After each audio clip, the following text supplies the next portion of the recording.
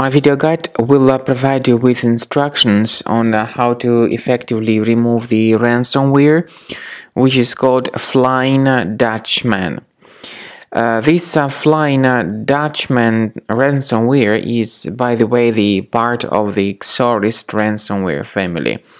Before the ransomware attack, people are able to open their files without any complications pictures, music, Microsoft Office documents, and uh, other da data. All that can be opened without any complications.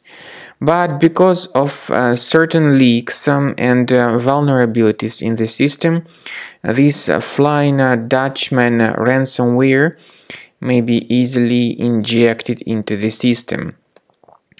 Uh, after the ransomware attack, this ransomware encrypts the files and adds a special extension to the files so it's not possible to use the data.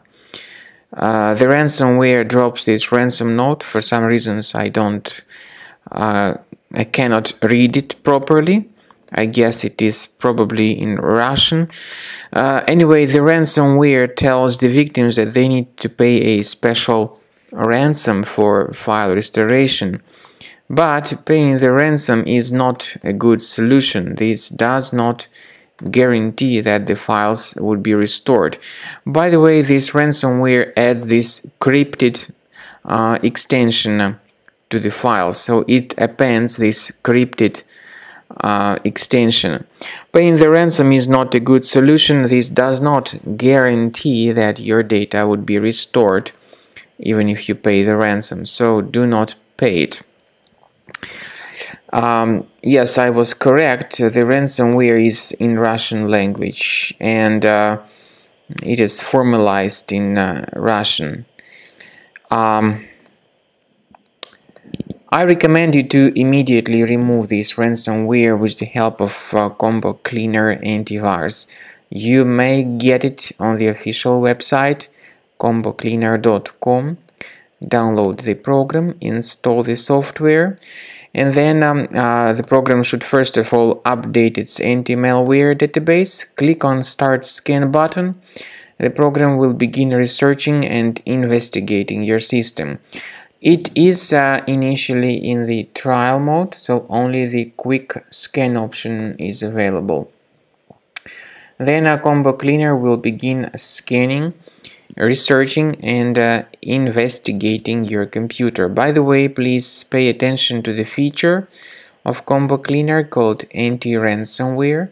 It actually allows you to add one or several folders on the system that will always be protected against ransomware attacks. Combo Cleaner does not uh, remove the ransomware, but it is able to Sorry, Combo Cleaner does not decrypt the files, but it is able to remove uh, this ransomware from your computer. Um, also, Combo Cleaner with its, with its premium version is able to protect your files from being uh, damaged uh, in the future. So at the end of the scan, you will see the summary of the threats.